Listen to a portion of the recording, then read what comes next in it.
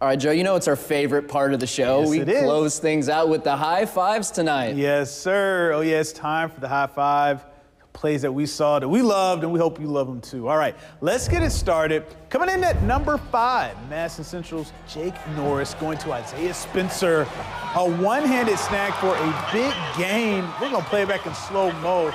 This kid had a catch looking like Odell Beckham, Randy Moss, Calvin Johnson, some of the greats. Wonderful snag there, and that came the big win for Madison Central as well. Now let's head out to Warren Central. Senior wide receiver Trey Hall. He's going to quick catch the quick dump off pass. Watch this. Juke.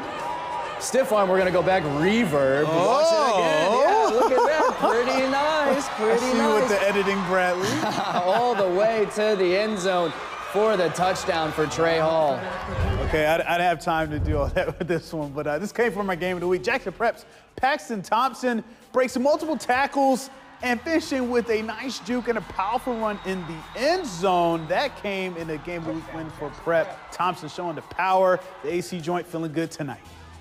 All right, now how about this? We got to give some kickers some love. Career long field goal, 49 yards from Andrew Harrison. That's OT, baby. And you know what JA did in overtime, Joe? They won that game. Congrats to that kicker right there.